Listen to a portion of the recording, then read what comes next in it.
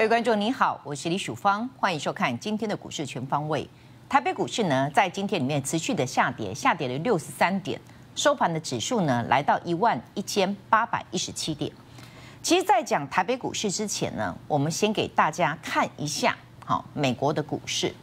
其实台北股市在今天里面持续的下挫之外，主要的原因是来自于美股的盘后盘，在我们开盘的瞬间，它曾经大跌四百多点。那主要的原因呢，就是来自于整个一个伊朗，他开始去做一些反扑，他也用火箭炮呢，你打我火箭炮，对不对？我也用火箭炮打你的美军驻伊拉克的一些的基地。那我们在之前就讲过，这些的零星的一个所谓的恐攻，它是在所难免的。整个一个中东国家里面来讲，它又不是吃素的。它当然在这个过程之中，随着美国的一个攻击，而且这一次的美国的攻击，在全世界的舆论上面而言，并没有站在美国的这一边。所以伊朗他们在这种主交属于呢集权上面统治的一些的国家，他一定为了巩固自己的威望，好，他去进行的一些恐攻。但是他真的能够打到美国本土吗？我就很难，像之前的双子星大象那种很难，但是零星式的，好零星式的恐怖的活动，那是没有办法避免的。那我为什么先跟大家看整个一个美国的一个指数？你应该先冷静下来。美国的股市，就算它在期货，好我们的盘前，它曾经大跌四百多点，它昨天的收盘指数呢是两万八千七百零三点的道琼，四百多点。你扣一下，那是不是呢？我算扣五百点好不好？它是两万八千两百点嘛，也就是说两万八千两百点，它才会去跌破了月线所在的位置，它连季线都没有碰到哦。但是我们的台湾股市呢，在这一波里面，在国际股市上面而言，我们算是跌幅很大的。像大陆的股市，在整个一个攻上三千一百点，它来到了压力区，三千一到三千二是它的压力区啊。它来到压力区，随着这个时间点这些的因素，它才呈现了拉回，好，才呈现了拉回。那昨天的南韩股市跟日本股市是反弹的哦，但是台北股市是一路的下跌。那我们在昨天这个节目里面就跟大家讲过嘛，你在操作上面，好，你一定要记住，技术面有它技术面的优势，基本面有基本面的优点。那我们说过，在昨天里面，如果就极短线。它因为五日均线的负乖离，好，它是很大的，好，很大的过程中，它容易什么？你杀下去，它容易反弹。那你看，在今天里面的台北股市呢，它曾经一开盘砰一声给你杀一百零二点，但它还给你弹到平盘上，然后弹到平盘上，你要留意到，在这。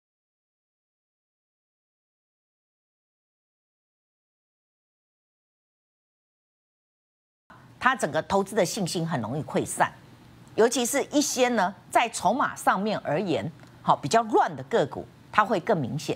好，那浅碟的市场上面，就像 OTC，在今天的集中市场上面，因为负乖离很大，有往上带了。那你来看 OTC 的一个市场，我给大家看一下，OTC 的市场上面，biang biang biang，四根长黑 K。距离五日均线的负乖离这么大，它依旧收在最低。为什么？因为它的融资的水位，哦，它的融资的水位上面来讲，它很高。它在最近里面来讲话，你就可以发觉到它的融资水位是很高。资增券减，好，筹码就乱了。你筹码乱的过程之中，你很多好的个股容易被错杀。那第二件事情，OTC 一向是什么？一向只会超涨跟超跌。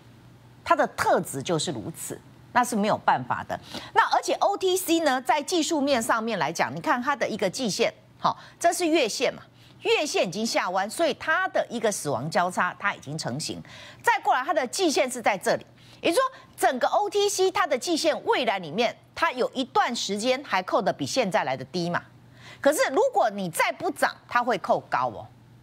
所以 OTC 在这种过程中，我就会建议大家，你稍微看一下，因为我们在昨天就提醒过大家，集中市场、OTC 市场都一样。今天过后的台北股市呢，它的日 K D 指标会落入到低档的超卖区，所以你手上有个股的过程之中，我们在之前台北股市一月三号出现巨量式的黑 K，集中市场 OTC 都是如此。那我有说 OTC 是更麻烦的，我当时候就跟大家讲 OTC 是更麻烦，所以你可以适度的调节股票，出要大于进。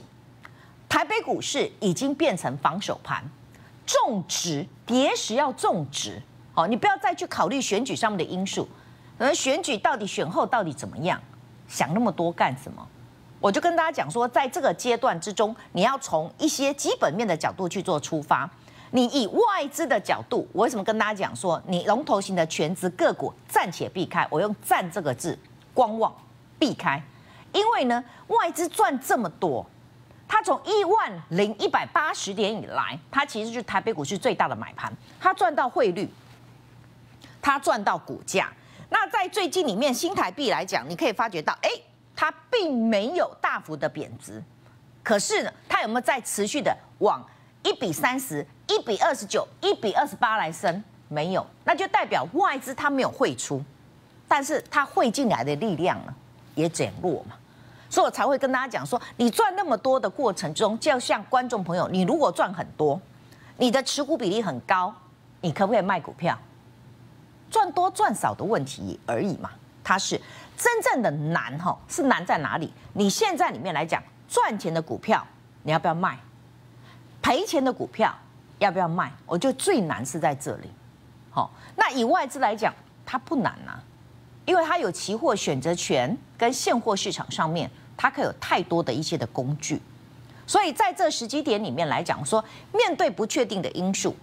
那我个人我也跟大家分析过，我说现在大家像今天我又听到说第四次世界大战，哎，还是第三次世界大战，这个议题上面来讲话有没有太无聊？真的是吓死所有投资人的宝宝了，真的是吓死宝宝了，哪那么恐怖？我就跟大家讲说，如果真的是这样，好，我也给大家看过，在当时候台北股市呢，一二六八二的跌下来，它是从资产的泡沫化，八月二号，八月二号是在这里哦。它反弹之后遇到了伊拉克攻打科威特之后呢，它进行了波斯湾的危机，第三次的石油危机才这样跌下来。而当时候的所有的油价，这是第一次石油危机，它涨四倍；这是第二次石油危机，这是圣战加萨走廊以色列的问题，好圣战。然后造成的涨四倍，再过来是美国上面本身的问题，涨了几倍？两倍。后来来讲波斯湾的危机呢，它涨了将近三倍。那我问大家，你今天已经都知道美国股市的盘前的期货，大跌四百多点，台北股市大跌，对不对？那我请问大家一件事情，我给大家看，这是一月八号，这是一月八号哦。布兰特油价，这是期货哦，好，期货不是现货，涨一个 percent。因为你要知道，美国的川普他其实就是另辟战场，给他的金主赚多一点，对不对？那我说过，共和党的金主一定是油商，一定是国防，这是每一次千古不变的一个道理。油价这么的低，适度的上来，我就是 OK 的。而且美国呢？在这一次一直在叫降息，不是来自于他们就业不好哦，他们就业很好，失业率不高，但是都是来自于通膨，大家怕通缩，有时候四度的通膨是代表景气的回温，所以四度让油价上来，好，并不是一件坏事情，但是油价不能够涨破一桶九十块那你想想看，不然透原油上面来讲，尤其是美国，哈，美国的页岩油，它已经多到哈可以生产到。不仅可以供美国全国上面的使用，它甚至可以卖到国外。那你觉得在这一次中东有没有办法像之前一样用油价？第一次的石油危机圣战，它就是这样子：我石油禁运，我不给你们这些国家，美国就吓死了，你知道吗？好，美国就吓死了。可是现在的页岩油呢？他不会吓到他，我觉得他就是在逼迫伊朗，因为美国跟伊朗一直有很大的问题，好很多的冲突，他就是要逼伊朗上谈判桌啦，就是这么的简单。所有的东西里面来讲话，我们说政治跟经济只要搞在一起哦，它就是很困难。但是我跟大家讲，冷静下来，我觉得不会世界大战啊，没那么简单。现在的国防科技有多厉害，无人飞机啪，哦，大家就来这样子在局部性的、区域性的，而且你有没有发觉这几年来，你也没有听到 S 恐怖的一些的东西，因为他们真的被歼灭蛮多的，好，被歼灭蛮多，但是小型的，好，小型零星式的恐怖的攻击，我就会发生。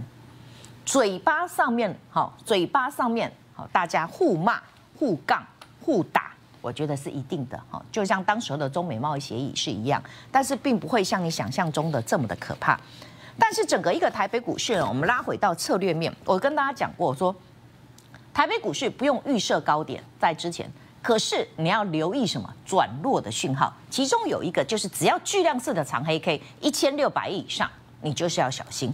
我们在这个节目里面跟大家讲哈，当时候电子资金比重也过热了，好，然后呢，整个台北股市巨量式的黑 K 啦，尤其是 OTC，OTC 还没有发生美国去攻，好攻整个伊朗伊拉克的一个叛军的，不能说叛军呐，将领的过程之中，其实 OTC 早就开高走低，你不相信你去看那五分钟的走势图，因为现在是旧历年前长假效应嘛，丙种要收散。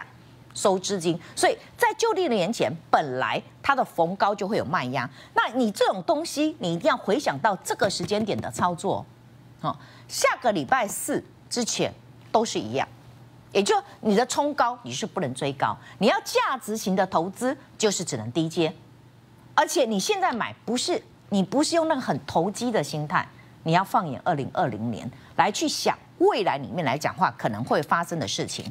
那我们在这个节目里面也跟大家讲过，你要暂且避开全职个股。一月六号，好，避开全职个股，因为我觉得外资它会因为台币不在的升值，它赚太多而去做减码。我建议大家要种植转攻为守，已经说了很多天了。那昨天也分析过这三大利空，我说国际的这个 GDR 是实质性的利空啊，它会被变成外资会去做套利，一直到什么 GDR 的定价。好，他才确定。所以很多现金增值，大家回想一下，不管是联茂，不管是玉金光，都一样。他们只要冲上去，它就会套利，可下来就会有一定的支撑。然后等到呢，整个一个筹码重新回归那个时间点里面来讲，它才会好。所以国巨也是如此。所以被动元件的一个主角，你现在拉回到看什么？看二四九二的华新科，因为它没有这方面的问题。所以它在今天会相对性的抗跌，而且它涨幅哦比国巨比较小一点点。那第二件事情，三星低价抢单的东西里面是旧稳，而且我觉得根本不造成问题。好，低价，低价你有没有品质？这个东西都要有待时间的考验。那第三个，华为的砍单，我说手机真的砍单哦，因为没有 Google 平台，你在海外的销售，就像你在台湾，你会愿意买没有 Google 平台的吗？你不愿意嘛？我们每一天都用手机里面 Google 搜寻，Google 搜寻，没有 Google Google 的服务平台，它卖的不好。但其他的呢？中国智慧型手机会不会受到影响？不会嘛？那全世界它的手机永远是什么？市占率的洗牌。所以你只要不是哈，不是说啊，你都纯接华为的啊，那个不会有太大的问题。但是在这种时间点里面来讲话，它的五 G 的基地台的订单，二月就会出来，十二月已经出来了。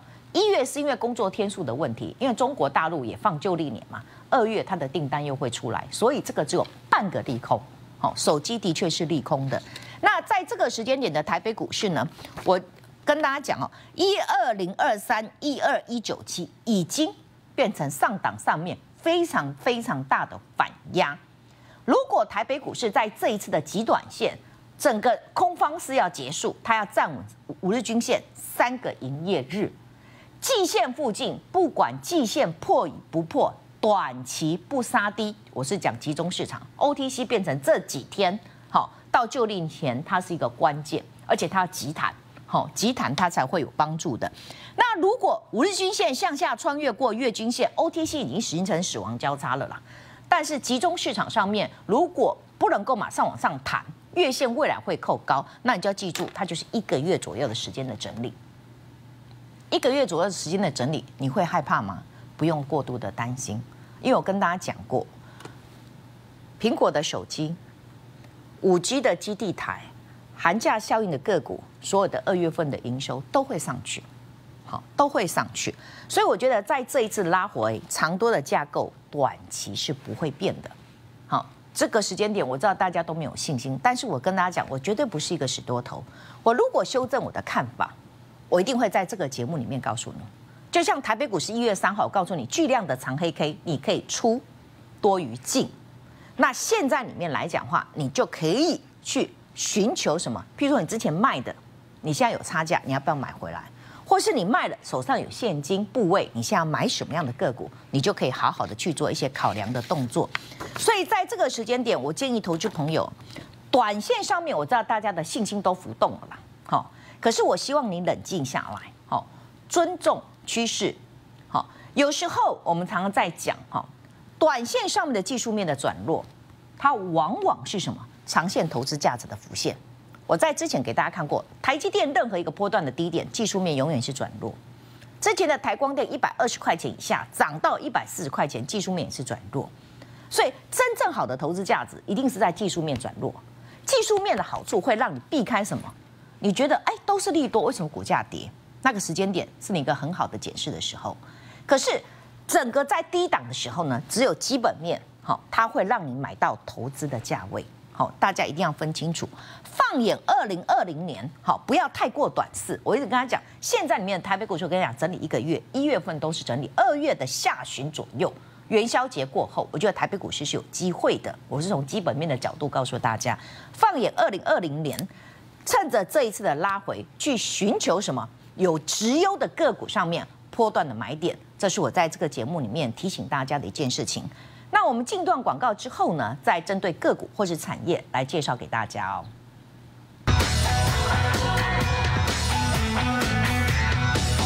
你说找狗要拍住老展，班长会答应吗？该不会是要跟我求婚吧？是我明天一大早就要上班了，所以我就想说帮他洗啊。丝丝枇杷润喉糖，女力报道，小资女上班季最重视。意想不到的柔滑好推。日本热销魅点高保湿粉底霜，均匀服帖好上手，绝不失败的光泽美肌，让你的魅力不止一点。魅点，全新光透柔胶蜜粉，大容量透亮再升级。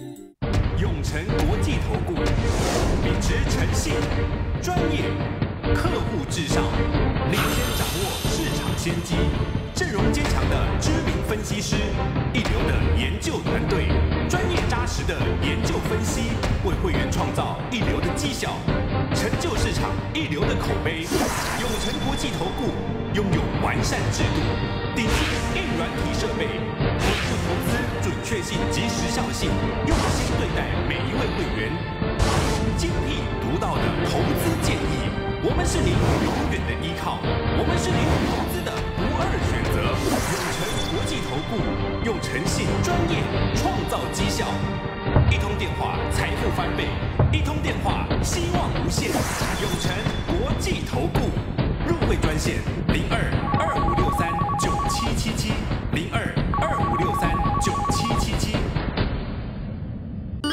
洗濯価格のありえ衣服洗过还是有异味，都是细菌的问题。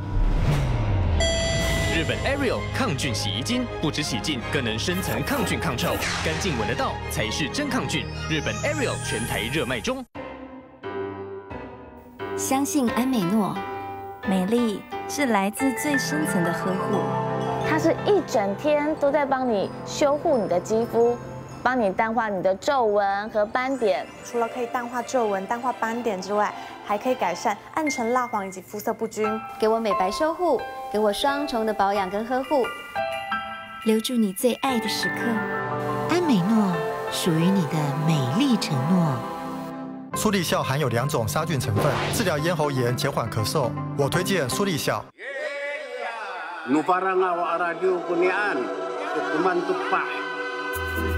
这是他们的传统歌曲。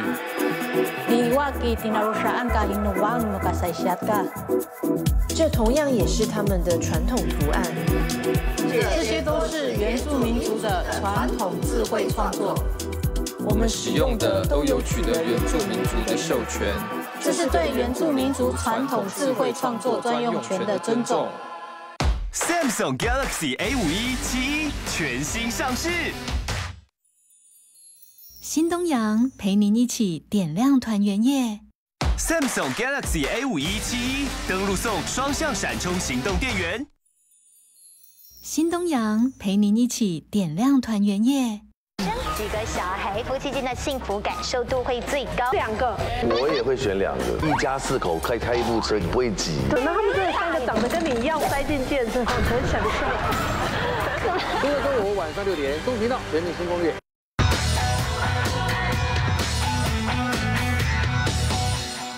你好，欢迎回到股市全方位。刚才谈到被动元件短期的一个指标上面，你变成要看华新科了。可是被动元件，因为在这一次国巨的事件之后呢，我个人的预期，它应该变成一个箱型。那另外部分记忆体可能因为国际大厂上面的失火的事件，短期今天的记忆体因为美光的大涨，可能极短线上面它会稍微动一下。但是我都有提醒大家哦，如果你真的要做短，在这个时间点都会有一定的风险性，因为这些的股票，我刚刚谈到记忆体啦、被动元件呐，其实外资的手上它都有一定的部位。那另外部分来讲，明天就是大力光的一个法说会的一个区块。那当然第一件事情要看它的毛利，它毛利以前都非常的高嘛，包达高达百分之六十到百分之七十之间。它的第四季很厉害，虽然十二月份的营收不如预期，哦，因为华为的一些的区块月减两成以上，但是它的达成率还是跟第三季淡季不淡的。如果它的 EPS 呢能够符合预期到两百零五块以上。那我觉得呢，这一档个股上面来讲话，它就有一定的机会。那虽然好，我觉得整个联平董事长一向是神话一哥，他不会讲太多。但是我跟大家讲哈，整个大力光哈，整个光学镜头的个股上面都会比去年的同期来得更好，因为 S E Two 二月它要拉货，第二季好，第二季季底苹果要拉货。第二季的一个区块上面来讲，非屏的系列里面都要拉货，像大力光，不管三星、不管华为、不管苹果的订单是不是都有？好，这个部分你自己去留意。那玉金光的部分，它主要呢是来自于苹果的一个订单，它其他的订单并不多，占占比并不多。那这一档个股在之前我们就跟大家讲，我的均线乖离很大，到六百块钱以上。我在这个节目并不等到它下来跟大家讲，我说过六百块钱整数关卡，你自己要去注意。但它这一次拉回角度非常的强，好，非常的强。虽然空方在这个时间点会反扑了哈，但是我提醒大家，如果撑过去了，好，它的年报没有问题，那它的融券这么的一个高，那就变成空方反扑，就是趁一月份嘛。你到二月份里面可能就要稍微注意一下，尤其到三月份，你会有龙卷强补的压力。一般高空形态的个股上面，它会超涨，好，它会超涨。那到龙卷强补的一周左右的时间，好，那个时间点你再找一个短线上面的卖点。那我预计呢，大力光它的旧历年，我也是听说了哈，当然要靠他们的公司派直接讲，明天就是法说会，应该会加班。好，瓶盖个股里面，它都会去做加班。个部分就是现在面对到这些不确定的因素上面，我也跟大家讲，像三二九三的星象，它称之为宅经济游戏的概念个股，你可以发觉它在这个价位区间里面横盘很久，它曾经跌这一段哦，基本面没有任何的问题的时候跌这一段，你从技术面的角度上面，你会不会去做停损？你一定要，可是你从基本面的角度，你会发觉，哎，营收都在创历史新高。哦，它在最近里面，你看又回来了，我才会跟大家讲说，有时候基本面好，你要持续的追踪，在技术面上面，它是一个辅助的工具，你自己留意。那宅经济的部分本来就是寒假概念个股，那也比较不会受到中东的一个影响性。那星象呢，营收上面如预期之中，好，它的一个十二月份的营收再创历史新高，十二月份的营收同步的走高，上面我有跟大家讲过，半导体的设备。台积电十二月份的营收不一定会成长，但是半导体的设备，因为台积电从资本支出一百零五亿变成一百五十亿，这是增加将近五成。所有台积电相关的半导体的设备，十二月份的营收会不错，甚至有些的公司里面来讲话，在今年二零二零年，它的成长性都会不错。好，这个是大家自己去做一些留意的一个区块。那不管是宏硕啦、嘉登啦，啊，今天公布的是宏康嘛。它也是营收上面来讲话，它是非常好的。那至于在同心店，我们在之前就跟大家讲过哈，好，这个时间点的胜利哦，同心店会变成什么？法人卖一堆，但并不是看坏同心店。它主要的原因是因为买胜利会更便宜，你就看到外资不断不断套利，跟所谓的联茂啦、哦国巨啦，它都是一样，他们会去套利。那在这种过程之中，变成说，当你杀下来套利完成，就是我买同心店也买好了，我把手上库存的同心店也卖掉了之后呢，那那个时间点，未来里面来讲话，胜利的价值，因为它是明年六月三十号合并嘛，就是以同心店乘以一点二四四。好，你去算它的一些的价值，所以这个部分里面来讲话，如果你有胜利的人，你应该是要去看同心店哈，同心店，那同心店的十二月份营收应该也还不错，哦，应该也还不错，这是大家自己去做留意的。那我们在之前也谈到过，那台光电或是联茂，再次联茂其实今去年的获利它不会比台光电好。台光电在公布十二月份的营收之后，已经优于预期，它比第三季衰减三个 percent 以内，大概会赚到九块钱以上。好，但是联茂因为它主要供的是五 G 基地台，它赋予它的本益比会比较高，那它现金增值是一百一十五块，所以这两档个股在一二零到一三零，它的铁板区还算是支撑蛮强的，这是大家自己去做一些留意的一个区块。那另外一个区块上面来讲的话，我们在今天里面来讲，可能因为时间来不及讲，第一季淡季不淡的个股上面，有些是寒假的概念个股，你都可以稍微哈，我们在未来的节目里面，如果有时间来告诉大家，其实现在里面的投资朋友，我希望你冷静下来，这一次的拉回跟修正，来自于四个月的月线收红，它是涨多之中的修正，它只是碰到利空，你会觉得修正的很快，但不是一件坏事情。放眼二零二零年，趁着这一次中短线的修正，好的个股、好的价格，要有勇气跟智慧逢低承接，这样的话，你才能够成为二零二零年真正的赢家。打电话进来哦。本公司与分析师所推荐分析之个别有价证券无不当之财务利益关系。本节目资料仅供参考，投资人应独立判断、审慎评估，并自负投资风险。